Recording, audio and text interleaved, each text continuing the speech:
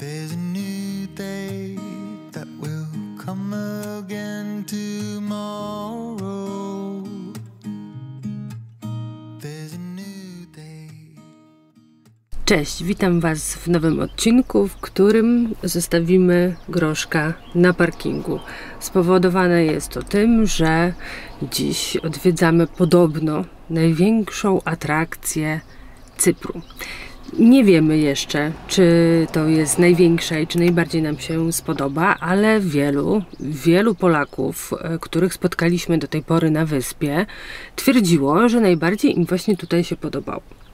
Ale jest pewien problem, który polega na tym, że zwykłym autem nie można się dostać do tej atrakcji. Są trzy główne opcje. Albo z buta, ale to jest bardzo daleka droga i zaraz wam powiem, co trzeba mieć ze sobą, żeby tam pójść, więc dużo trzeba rzeczy nieść. Druga opcja to jest statek i ta opcja y, jest całkiem dobra, ale to są takie grupy i jesteś na tej atrakcji tyle, ile y, jest tam statek. Jak odpływa, zostajesz, tak? I potem musisz myśleć o tym, jak wrócić. No i trzecia opcja. Mm, niestety najdroższa, no ale y, dawno tego nie robiliśmy, chyba od czasu Gruzji. Czekam na Daniela, aż wypożyczy bagi i stwierdziliśmy, że jednak ta opcja y, chyba będzie najlepsza, zważywszy na to, że chcemy wziąć ze sobą dużo rzeczy. Tą atrakcją jest Blue Lagoon. I na Cyprze nie- niebieskie laguny są dwie. Jedna jest na Cape Greco, na drugim końcu wyspy niż ta druga niebieska laguna. Ta na Cape Greco, mm, umówmy się, była bez szału. Mm, I takie Blue Lagoon, laguny jak na Cape Greco to y, można znaleźć w różnych miejscach, y, też na Cyprze. Ale po prostu tak się nazywa. A ta, dru y, ta druga właściwa, do której dzisiaj zmierzamy, to jest taka y, laguna, y, która robi wrażenie nawet na zdjęciach. O, Daniel wrócił. Powyginana rejestracja. No, grubo. Podobno droga jest ciężka. Nie może wysiąść. Ta część wyspy, czyli teraz jesteśmy w miejscowości Latchi. Mm, To jest koło Polis. Mm, I tutaj zaraz zaczyna się półwysep y, Akamas. To jest taka część e, całego Cypru, która moim zdaniem jest e, taka najbardziej widokowa. Dlatego, jest, dlatego, że tu jest to, co ja przynajmniej lubię najbardziej, czyli połączenie takiego krajobrazu gór i morza. Z jednej strony są góry, z drugiej morze. Jak się wejdzie do wody, to widzi się te góry. I jest tutaj bardzo dużo pięknych takich skał, takich dzikich, na których często jesteśmy sami. E, Nie tak jak w przypadku skały Afrodyty czy Cape Greco, które są bardziej dostępne. I jest tak bardziej dziko. Więc podoba mi się. I tu, e, jak się wejdzie do takiego sklepu, takiego e, zwykłego marketu, gdzie ceny są całkiem przystępne, bo tu nawet Lidla nie ma, to też jest zupełnie inny klimat.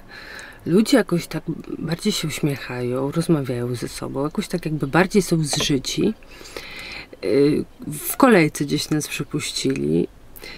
I tak jest naprawdę w tej części wyspy najbardziej e, jakoś tak dobrze się czuję. A już objechaliśmy cały Cypr i pora się szykować w stronę promu. A tu, jak przyjechaliśmy, to wcale nie chce się stąd wyjeżdżać. No. Jedziemy na Blue Lagoon. Dzisiejszy dzień to będzie nasz sprzęt, którym będziemy podróżować. Z-Force 800 cm. W gruncie rzeczy to chodzi, że ma napęd na 4. No i nie będziemy musieli groszka panachać, bo to chodzi o to, że my byśmy tam dojechali groszkiem i nawet taki plan był, żeby tam postać chwilę poplażować. Ale szkoda nam. No nie dojechalibyśmy, nie w takich miejscach byliśmy. To jest główny powód, dlaczego nie poszliśmy na piechotę, a e, zabraliśmy się bagi. Tutaj pod spodem sobie zabezpieczyliśmy od kurzu wszystkie nasze rzeczy. Nasze i nie nasze. Jak nie nasze, wszystkie są nasze. Po prostu my się nie lubimy pakować, dlatego mamy kampera, bo mamy wszystko spakowane raz, a dobrze. A na jeden dzień wyszło nam tyle rzeczy, to jest pół bagażnika tego. Zapasy wody, No ale zapasy wody, jedzenie, jedzenie, ciuchy na przebranie. masy do snur... y, masy, maski, Maski. do snurkowania. No, także niezła masa jest. E, tak, w ogóle sprawdziliśmy wszystkie firmy, jakie są tutaj w okolicy e, Polis i PR wyszło najlepiej, najbardziej taki rozgarnięty. Tego Chyba on dopiero zaczyna, bo nie ma aż takiej dużej bazy. Ale jesteśmy w, La- w. Jesteśmy w Latchi, Koło no, ale to jest okolice Polis Polis.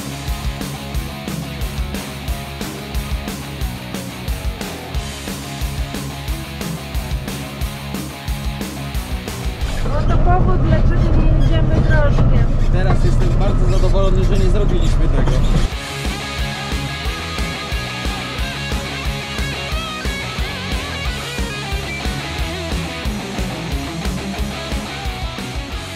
Zobaczcie, jak to z tej perspektywy wygląda, bo ruszyliśmy razem z pierwszymi rejsami, które są około 9-10. I teraz płyną po prostu, jak mrówki do mrowiska się zbierają tam. Tam ta lagunka, gdzie skręcają, to jest Blue Lagoon.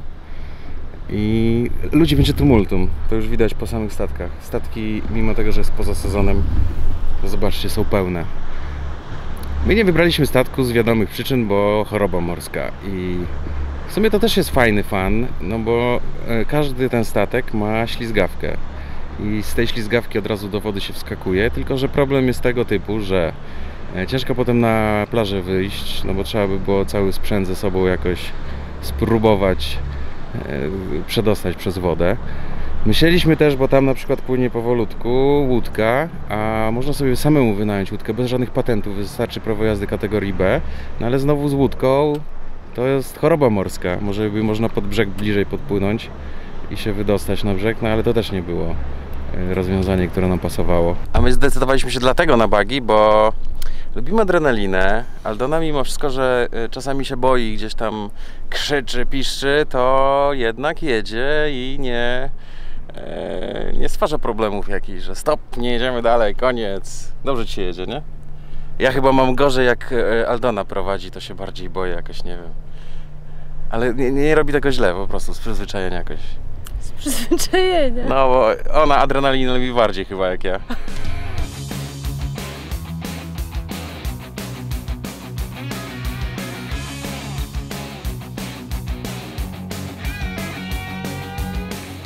I jesteśmy. Na Blue Lagoon. Widać nasz entuzjazm. E, Sama jazda była bardzo fajnym doświadczeniem i e, jakąś odmianą taką mogliśmy sobie pojeździć szybciej po terenie, nie tak jak zawsze groszkiem, żeby nic nie urwać. I lepsza była jazda niż Blue Lagoon. A Blue Lagoon ładnie jest. Jest piękny kolor wody, nie da się ukryć, fajny błękit, Blue Lagoon jest, ale może to wynika z tego, że taki błękit można spotkać wszędzie na świecie i my tych błękitów widzieliśmy wiele.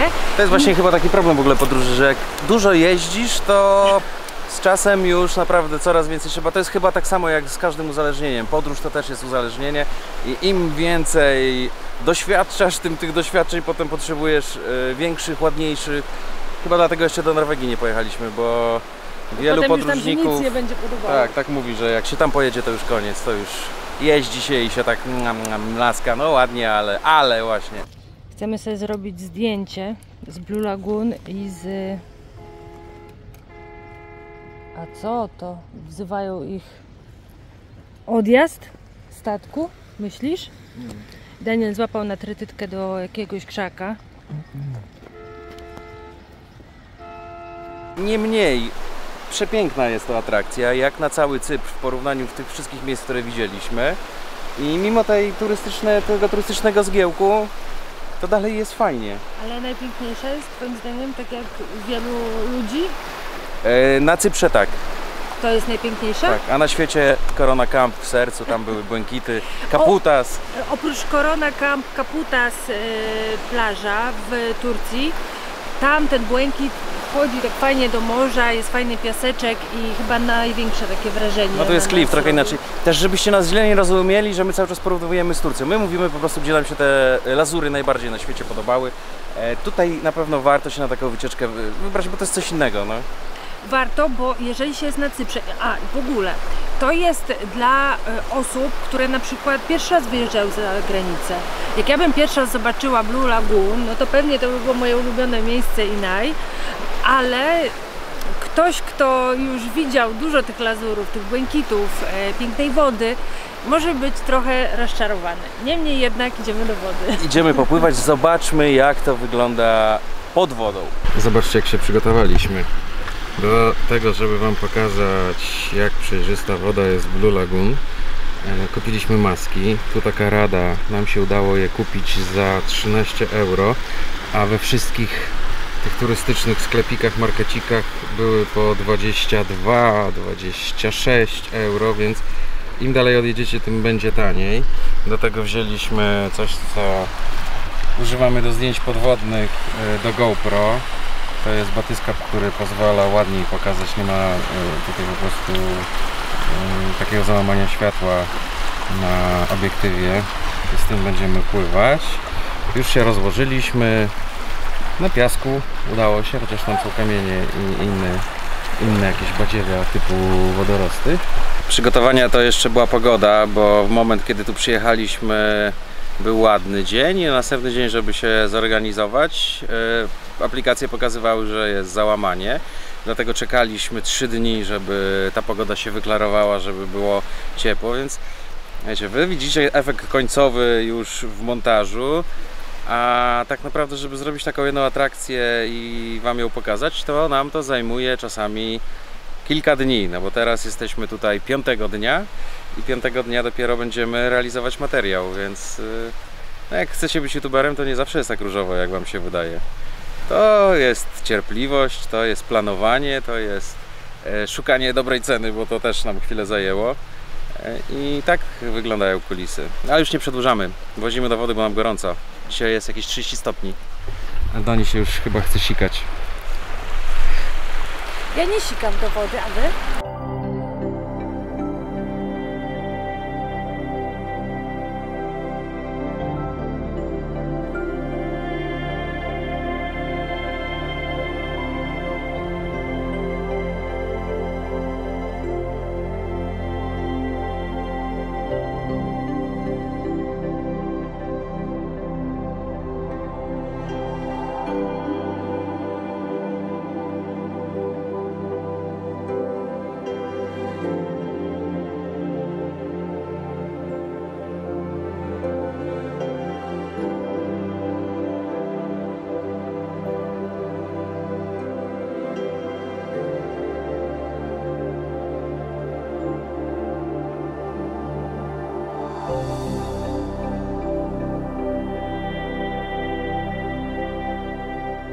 Zmieniam zdanie, jednak warto jest tutaj przyjechać i jest to bardzo duża atrakcja, bo może y, z zewnątrz nie wygląda to super, ale pod wodą jest naprawdę ekstra i jestem z siebie dumna, bo y, pierwszy raz w życiu tak naprawdę posnurkowałam. Na Koronie Camp miałam takie y, pierwsze moje próby, ale to zaraz się wynurzałam, a teraz y, jakoś tak dłużej popływałam i naprawdę podoba mi się snurkowanie. Na pewno pod spodem jest ładnie, byłoby też ładnie, gdybyśmy mogli z drona pokazać, no bo ta gra kolorów zrobi swoje, ale rzeczywiście e, podwodny świat Blue Lagoon to jest to, dlaczego warto tutaj przyjechać. Trzeba mieć maski, bo e, połączenie tego białego piasku z tymi rafami, no coś I wspaniałego. rybki były. I rybki były. Te ryb, Jeszcze- co bym je złowił, już nawet e, wiem, teraz mam maskę, będę najpierw zanim będę łowił, to będę płynął zobaczyć, gdzie, gdzie one stacjonują. Jeszcze nie ma sezonu na żółwie, ale jak te wielkie żółwie, zielone żółwie jadalne, czy kareta kareta, które tutaj na Cyprze występują, by tutaj gdzieś pływały, to już w ogóle byłby sztos. Wisienka na torcie. Popływaliśmy to i zgodnieliśmy. I zobaczcie co to sobie przygotowaliśmy. Znaczy, w końcu spuściliśmy się i my. Już widzieliście w jednym z poprzednich odcinków Kacper miał z Mary takiego Big Choco. 2 euro orzechowy. Nie wiem, czy w Polsce są takie duże. My go nawet w sklepie już nagrywaliśmy, yy, ale jakoś ani razu nie kupiliśmy. Co uważasz o Big Choco? Wcale nie jest zły, ale nie polecamy, bo to jest syf. Od czasu do czasu jemy i pijemy takie przetworzone rzeczy, ale nie polecamy, bo jest to niezdrowe. Ale no mo- może będzie na deser. Fajny, duży, po prostu on kosi. My będziemy jeść coś prostszego. Wzięliśmy sobie ogórka, e, ja wziąłem chleb, Aldona będzie jadła to z sałatą i pasty, humus i ta pasta ta różowa To jest, jest- z ikry. Pasta taramo i jest ona niezwykle popularna tutaj na Cyprze, na Wyspach Greckich, Grecji. E, I no, lubimy ją. Ona jest taka, no niby jest z ikry, niby powinna być rybna, ale jest smaczna. No, no nie wiem, ja ją lubię. No i humus lubimy.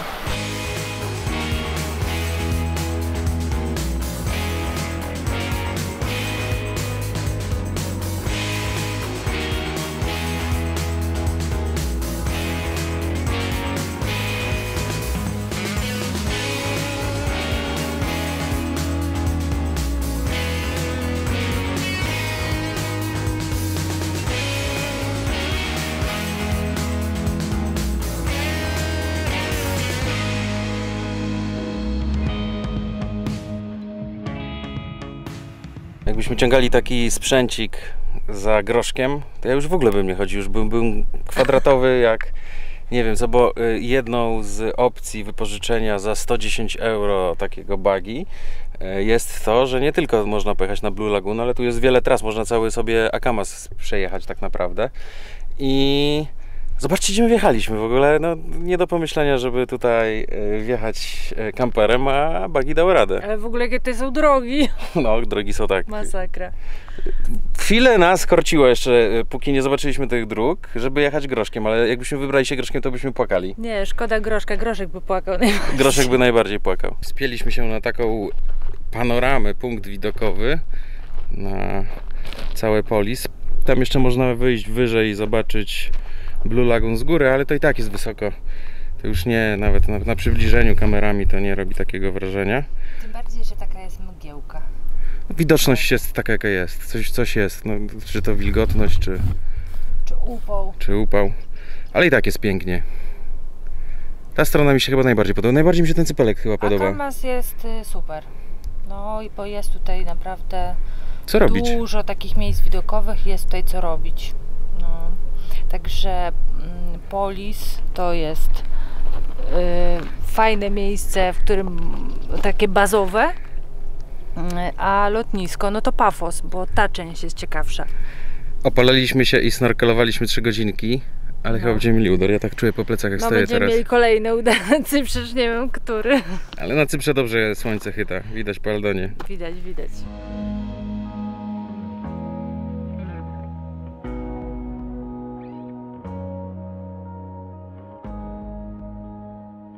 Mnie? Nie, już włosy związałam.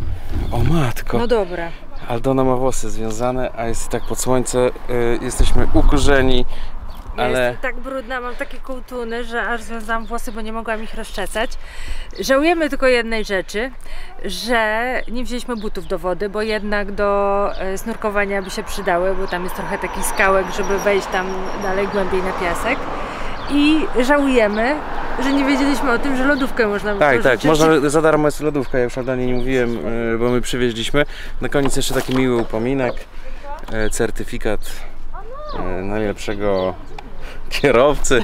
Nie, no fajna firma, naprawdę, polecamy. Jak chcecie nie szukać od razu y, A, jeszcze chusty dostaliśmy Jeszcze gratis. chusty gratis, tak. Lemoniadę na, na starter na napicie.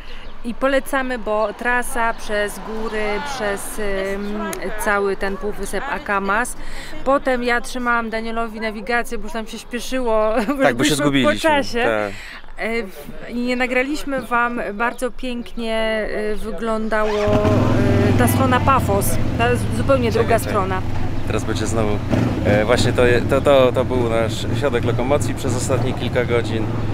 E, I Właśnie odjechał.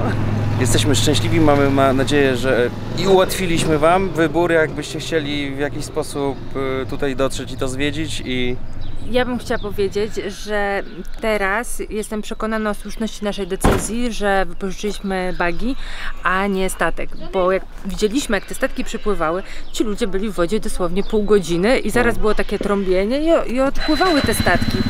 Także no, to jest rzeczywiście taniej, ale moim zdaniem y, opłaca się zobaczyć tyle, ile my zobaczyliśmy, a można jeszcze Własnym więcej. tempem, y, to co się chce obejrzeć, y, najlepiej. Najlepiej tak jest, dlatego jeździmy kamperem, a nie latamy na zorganizowane czasy. Dziękujemy Wam bardzo za odcinek. Nie zapomnijcie o łapce w górę, łapce w dół, jak się Wam podobało.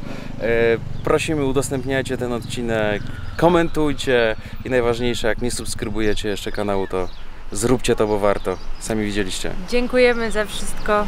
Pozdrawiamy, pa! Elo. Ale mamy chyba udar, nie?